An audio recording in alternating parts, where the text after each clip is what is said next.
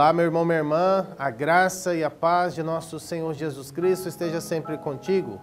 Que alegria estarmos juntos mais uma vez no nosso programa diário Palavra de Deus Meditada, o programa onde a palavra de Deus toca o nosso coração.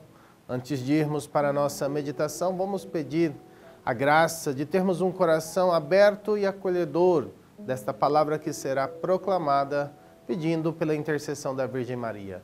Rezemos juntos. Ave Maria, cheia de graça, o Senhor é convosco.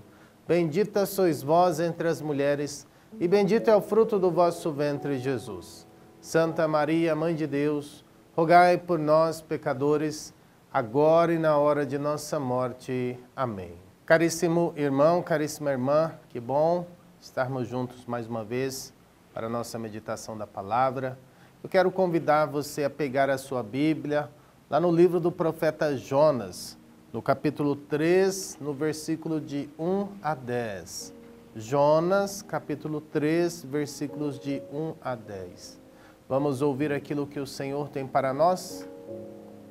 A palavra do Senhor foi dirigida pela segunda vez a Jonas nestes termos: Vai a Nínive, a grande cidade, e faz-lhe conhecer a mensagem que te ordenei. Jona pôs-se a caminho e foi a Nínive, segundo a ordem do Senhor.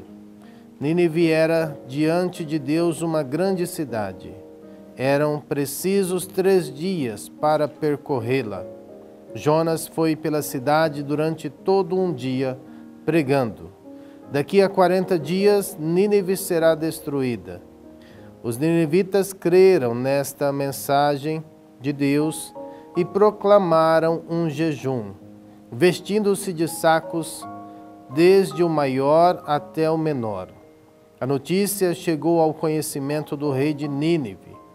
Ele levantou-se do seu trono, tirou o manto e cobriu-se de saco e sentou-se sobre a cinza. Em seguida, foi publicado pela cidade, por ordem do rei e dos príncipes, este decreto: fica proibido aos homens e aos animais tanto do gado maior como do menor, comer o que quer que seja, assim como pastar ou beber. Homens e animais se cobrirão de sacos, todos clamem a Deus em alta voz.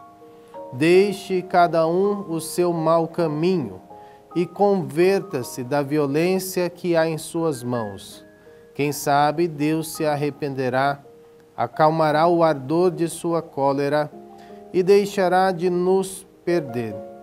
Diante de uma tal atitude, vendo como renunciavam aos seus maus caminhos, Deus arrependeu-se do mal que resolvera fazer-lhes e não o executou. Palavra do Senhor, graças a Deus. Caríssimo irmão, caríssima irmã, então nós ouvimos esta passagem do livro do profeta Jonas, onde Jonas é enviado por Deus à cidade de Nínive para que eles possam conhecer a mensagem de Deus. Veja, aqui é o primeiro ponto desta passagem que nós ouvimos. É necessário conhecer a mensagem do Senhor. Em outras palavras, meu irmão, minha irmã, nós temos que conhecer as sagradas Escrituras. Nós precisamos saber aquilo que a Bíblia traz para nós. Nós temos que conhecer a doutrina da igreja, nós temos que conhecer os escritos dos santos padres da igreja. É necessário conhecer a mensagem de Deus para nós. E assim Jonas foi, anunciou a Nínive que ela seria destruída. Por quê? Porque Nínive estava no mau caminho. Nínive tinha abandonado os ensinamentos do Senhor. Então Jonas foi lá para anunciar isto. Em 40 dias Nínive será destruída. Esta era a mensagem que Deus tinha para aquela cidade. Mas eis que os ninivitas, tementes ao Senhor, acreditaram nesta mensagem e fizeram penitência, jejum, jejum e cobriram-se de sacos de cinza.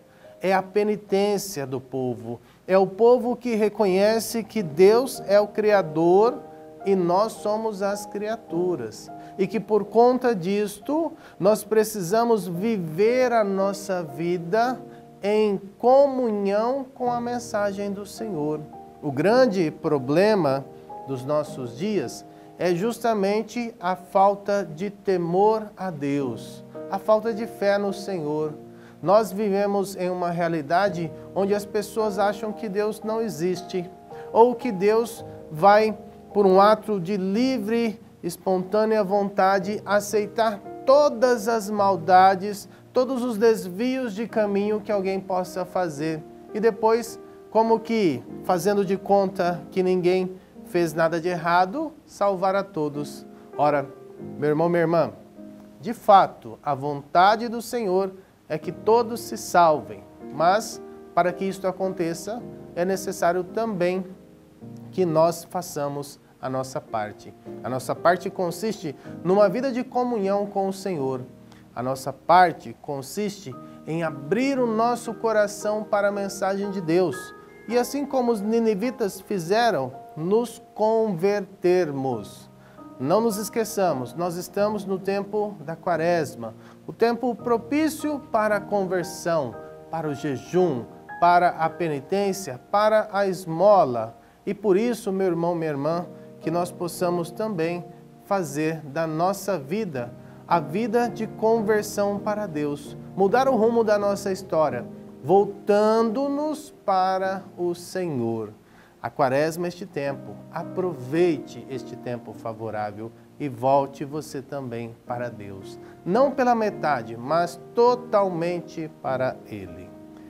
Louvado seja nosso Senhor Jesus Cristo, para sempre seja louvado.